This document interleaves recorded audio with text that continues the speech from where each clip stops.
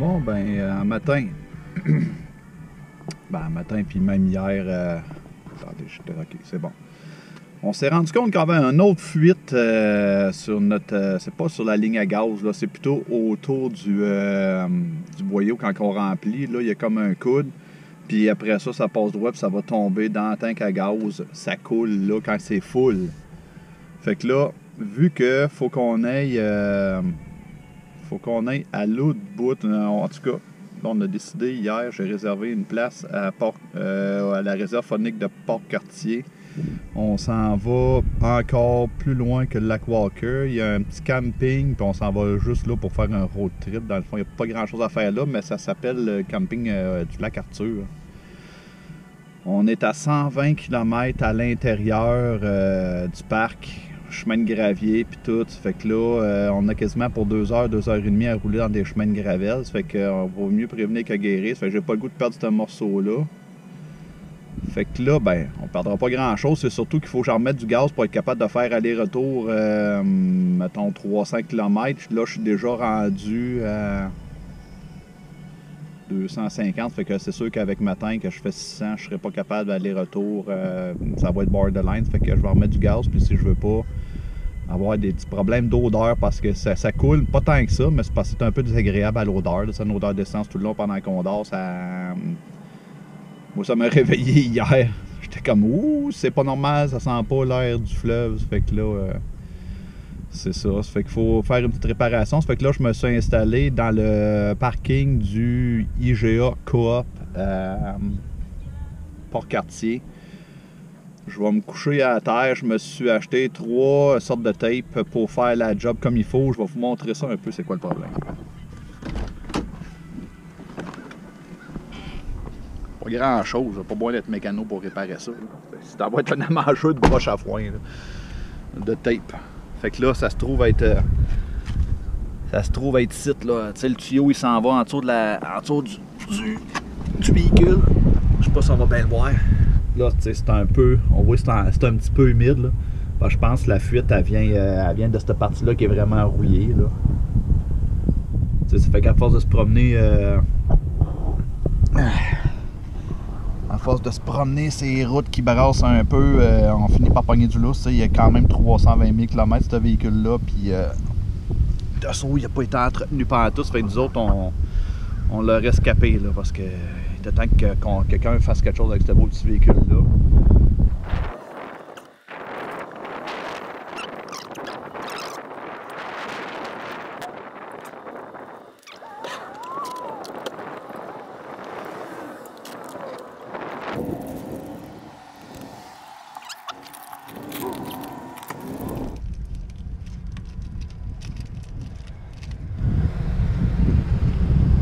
Oh merde! Hein? Merde. Bon, on sent comme un garage. Ah, Il y a juste là le garage, on l'a passé. Bon ben, le projet. Au garage? Euh, ça, c'est la ligne de retour pour le Prestone, on dirait. Ah, il faudrait appeler tout de suite. Il n'y avait pas de stress euh, point Ouais. Là. Ouais, ben ça s'est pas passé pantoute comme je pensais. Ma petite réparation en voyant une zone un peu humide que je soupçonnais un peu mollasse. J'ai à peine touché à hausse qu'à casser. On encore chez Point S, mais là on est à Port-Cartier. Mais c'est ça qui est cool, là, on dirait que cette, la petite bannière-là, n'ont peut-être pas alloué ça à n'importe qui parce que dans le fond, on dirait qu'il y a un pattern de service euh, quand même assez rapide. On a juste appelé, ils nous ont trouvé un petit trou là, euh, tout de suite après la cliente là, qui est déjà en cours. On va se faufiler à travers, euh, à travers eux autres. Ça fait que là, euh, excellent service chez Point S, hein, on peut pas, euh, peut pas dire autrement. Bien content. C'est sûr que je suis pas tant content d'être pogné sur le bord du chemin avec une petite fuite là. Ouais, mais tu sais, c'est ça. Il était temps qu'il se passe quelque chose avec ce véhicule-là. là. Là, c'est assez, là, deux réparations en, une semaine. Là, euh, ben beau trouver des bons garages avec des bons services. Mais là, on va dire qu'on a poussé notre loc assez loin, là, puis euh, On va s'en revenir tranquillement pas vite à la maison. Je sais pas, il est rendu quelle d'après moi? Il est proche 6 heures. Ouais. Ah. C'est assez merveilleux, ça.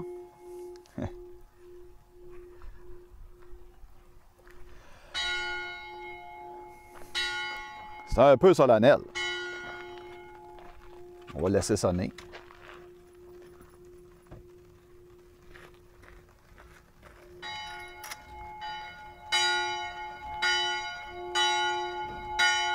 Ouais, j'ai comme choisi mon heure pour partir mon, euh, mon petit vidéo. Puis là, ben, pendant que ça sonne, je m'empêcherai pas de vous jaser ça. On s'est trouvé un méchant beau coin par hasard euh, au détour d'un détour. On voulait aller voir qu'est-ce qui se passait à la baie des Roues Morts. Là, ben, on s'est ramassé dans une petite municipalité. On a pogné un cul-de-sac. On a décidé de continuer. Puis là, j'ai vu sur la route que c'était marqué. euh, Ouais, pe- peut-être ce spot-là, mais la route c'était marqué, euh, tu sais, au lieu de monter directement, de reprendre la 138, vu qu'on a quitté la 138, ben, euh, euh, j'ai vu que 9 km plus loin, mais c'est à 138. Ça fait vu que c'était 9 km plus loin, j'ai décidé d'aller voir. Euh, à rouler 9 km sur cette petite rue-là. Puis on a abouti à Rivière-Pentecôte, je pense que ça s'appelle. Puis là, je vois que des gouttes sur l'objectif, mais euh, désolé, on va continuer quand même de même, si ça va peut-être. euh, ça va laisser un peu à désirer au niveau de la qualité de la prise de vue, mais c'est pour vous montrer comment c'est beau. Puis c'est pas mal là que ça se passe parce que là, il commence à pleuvoir, puis là, on va se faire mouiller dessus pendant deux, trois jours. C'est rien qu'un début. Fait que, méchant point de vue. Tu sais, c'est rare, euh, c'est à côte nord. Habituellement, on est tout le temps au niveau du fleuve. En tout cas, quand on fait. euh, quand on roule sur la 138, c'est soit qu'on est dans les terres avec les épinettes ou qu'on est sur le bord du fleuve. Mais qu'on a un point de vue de même, là, en hauteur. Vraiment rare. Euh, ça se passe à Rivière-Pentecôte. Assez impressionnant. Surtout, il y a comme aussi un beau petit quai. euh, il y a des veilleurs qui sont installés là. euh, je ne sais pas s'ils sont là pour la soirée. Puis nous, ben, dans le fond, on n'a juste pas descendu au quai. On a juste été. euh, on a monté la butte parce qu'on voyait qu'il y avait éventuellement peut-être un point de vue. Là, il y a une belle petite passerelle là, justement qui nous donne euh, accès à ce point de vue-là qui est assez, assez impressionnant. Fait que là, nous autres, on s'est dit, bon, ben, tant qu'à être ici, on va, on va souper. Fait qu'on a étiré notre petite toile. On va sortir nos tables. Puis Adèle, c'est elle qui sédule les soupers. Moi, je vais l'assister. Je suis le, le commis d'office à la cuisine. C'est elle la chef. Ça fait que ce qu'Adèle a prévu de manger, ce qu'Adèle a prévu de manger, c'est des pâtes. Comme on a mangé une couple de fois l'année passée, euh, quand on est allé en Nouvelle-Écosse, des pâtes euh, avec une sauce maison, euh, sauce euh, tomate, euh, puis à côté, je pense qu'on fait frire des oignons, on rajoute de l'ail, puis quand ça c'est fait, c'est on met la sauce tomate. Puis quand ça c'est tout, ça a le temps de puis que c'est vraiment bien cuit, là on rajoute les nouilles. Là, ça va être euh, un, les nouilles, ça va être du spaghetti. Hein, c'est ça, de l'or? Fait que, comme d'habitude, c'est toujours bon. Puis là, ben, en plus, c'est rare qu'on sorte notre toile. Ben là, c'est la première fois qu'on va l'utiliser vraiment là, pour ses fonctions. À part par soleil, là, ça nous protège la température. Puis on est chanceux, ils ne vendent pas pantoute parce que ce genre de toile-là, euh, les pattes, euh, ils sont pas, sont pas à terre. Là. Ça fait que s'ils vendent, mettons, s'ils vendent, ouf, ouf, ouf, ça part au vent, ça arrache. Là, on est juste un setup parfait. On a une vue de fou. Là. C'est. euh, Ouais, j'en ai pas vu souvent des belles vues de même où ce qu'on est tout seul.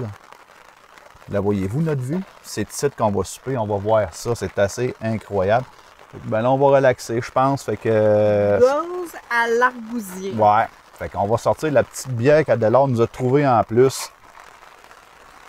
Ça vient de où, ça? Euh, argousier nordique chute, chute aux outardes, mais euh, ça, Bécomo.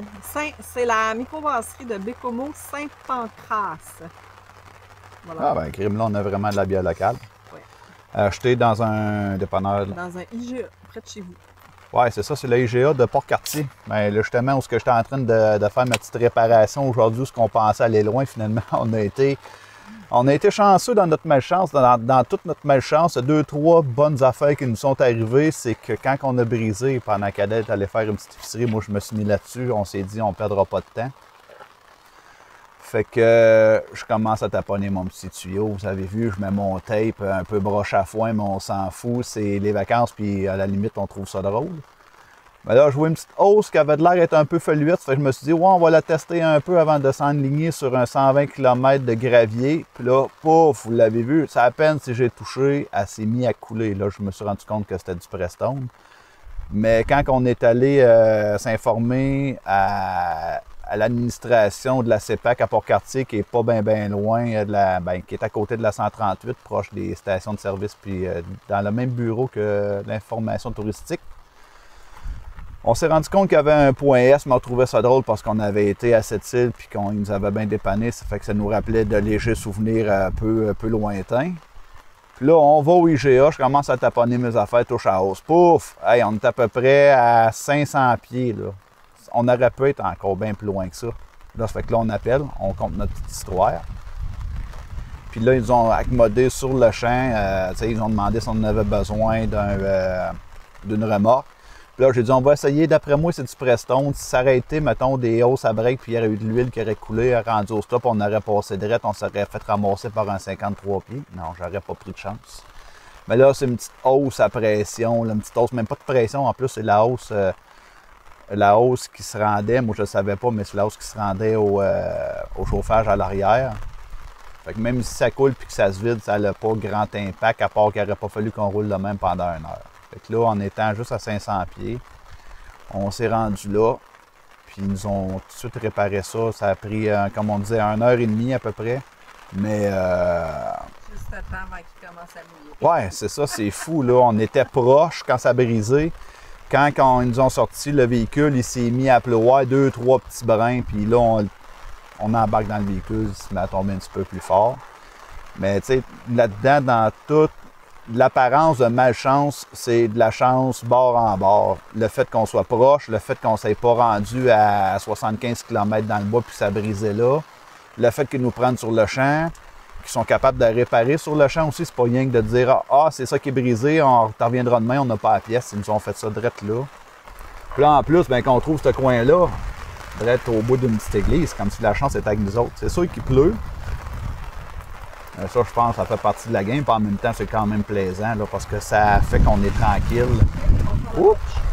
Il commence à vanter. Il va peut-être falloir, justement, je parlais de ça tout à l'heure, mais il va peut-être falloir qu'on mette nos vis et qu'on se strappe pour pas se faire arracher nos affaires. Ouais. Là. Bon, ben, j'ai de la pression, ça a l'air. Ça fait que je vous laisse là-dessus. On s'en prend peut-être tout à l'heure. Ciao! Fait, tu veux que je coupe les oignons? Oui, un petit morceau.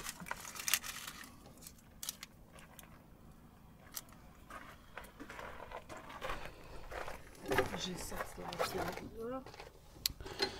Euh, tu veux-tu que je mette de l'huile dans le fond de ta poêle en premier, genre, puis mettre les oignons dessus? Oui, mais juste un petit peu. là. Ouais. Ouais.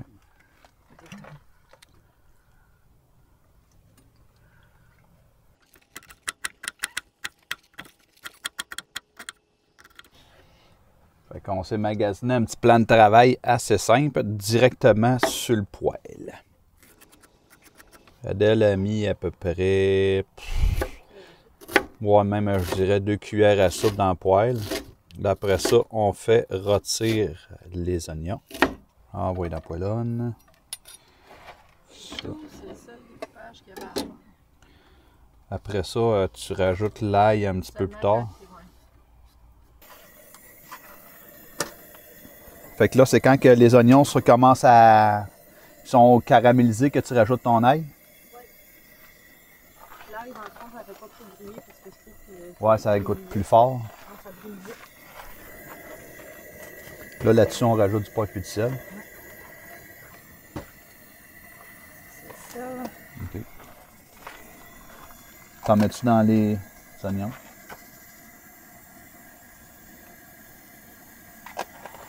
Le sel, c'est comme le reste, euh, c'est ça qui va faire que ça va goûter. On n'est pas obligé d'en mettre des tonnes non plus. Il y en a qui sont allergiques au sel. Trop de sel, là, c'est dur, c'est blablabla. Il y a comme une philosophie, c'est un peu comme le véganisme, puis le végétalisme, puis le. C'est un peu le même principe. Le sel, c'est comme une religion, t'en mets ou t'en mets pas, mais tu sais, moi je suis du bord où c'est qu'il faut qu'on en mette, puis qu'on en mette des fois trop plutôt que pas assez. Je préfère que ça goûte salé plutôt que ça goûte orgeat. Parce que le sel, c'est un vecteur de goût Parlez-en à n'importe quel cuisinier. Mais tu sais, les goûts, ça se discute pas. Adèle, elle aime pas ça quand c'est trop salé, puis c'est bien correct. Mais tu sais, moi, ça me ça m'empêche pas d'en mettre dans mon assiette du sel si je veux. Mais ça n'en prend du sel. Même affaire avec le poivre. Le poivre aussi, ça donne du goût. Ça fait pas juste donner du piquant. On dirait que le, petit côté euh, boisé du poivre noir, il va faire ressortir un peu plus aussi le goût des aliments. Pas de poivre, c'est comme pas de sel, c'est-à-dire pas de goût. Avez-vous vu le beau petit setup qu'on s'est fait vite vite à l'arrache, là? Euh, les petites toiles, euh, la petite toile euh, de 10-12 qu'on a plié en 4 puis en 2, je pense. Fait juste parfait pour le côté ici. Ça fait que s'il recommence à pleuvoir ou venter, ben, on est quand même protégé. Puis là, ben, le feu en plus, il nous réchauffe. Là. Ça fait que, on est bien, on est bien. Il doit faire 23-24 dans la petite abri tempo. Euh, faites, à la course. pour ceux qui vont vouloir essayer ça chez eux, c'est un classique des vacances, mais même à maison, c'est bon. Fait qu'un oignon au complet, une grosseur moyenne, là, est à peu près gros de même. Une cuillère à thé d'ail, une demi-cuillère à thé de sel, ouais, à peu près une demi-cuillère à thé de poivre, une canne de tomates, en D, euh, je sais pas, 500 ml, plus que ça. Hein? 796 ml.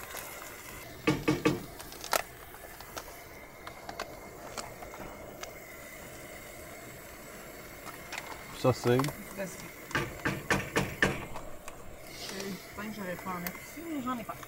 À peu près une demi-cuillère à thé. Ouais.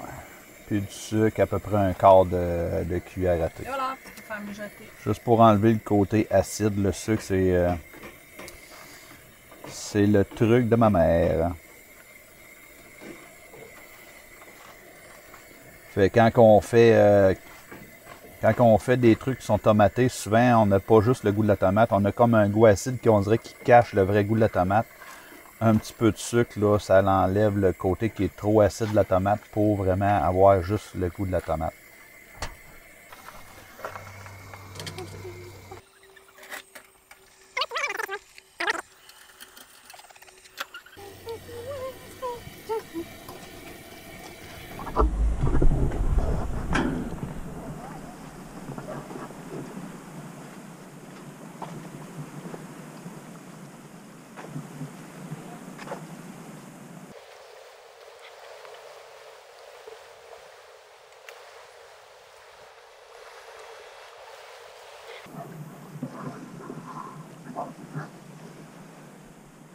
Vraiment un beau petit coin tranquille. Même les, euh, même les pêcheurs de humour, euh, tu vois, ils sont quand même relax. Ça arrive pas les baguettes dans les airs et le gaz au fond. Tranquille, tranquille. Ça donne quasiment le goût d'aller à la pêche au humour. Ouais. Il faudrait se griller d'un gros bateau. je préfère mon petit Winnebago.